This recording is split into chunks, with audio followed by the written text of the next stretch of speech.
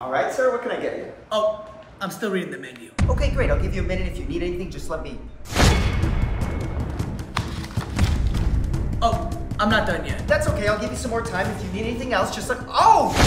What is this? Oh, I'm having a bedtime read. Okay, sir, why have other tables I have to serve so. Ow! Wait till you get to page six. No, no, absolutely not. What is this, a book club?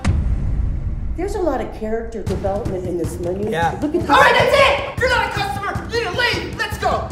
Move it! Move it! Move it! Move it! Move it, Granny! All right, sir, what can. What are you listening to? Oh, the audiobook version of the menu. Give me that! There is no audiobook version of the menu! Now, what can I get you? I'll take the turkey club. Finally! One turkey club! Hey guys, so we actually stopped serving lunch, but here is a dinner menu.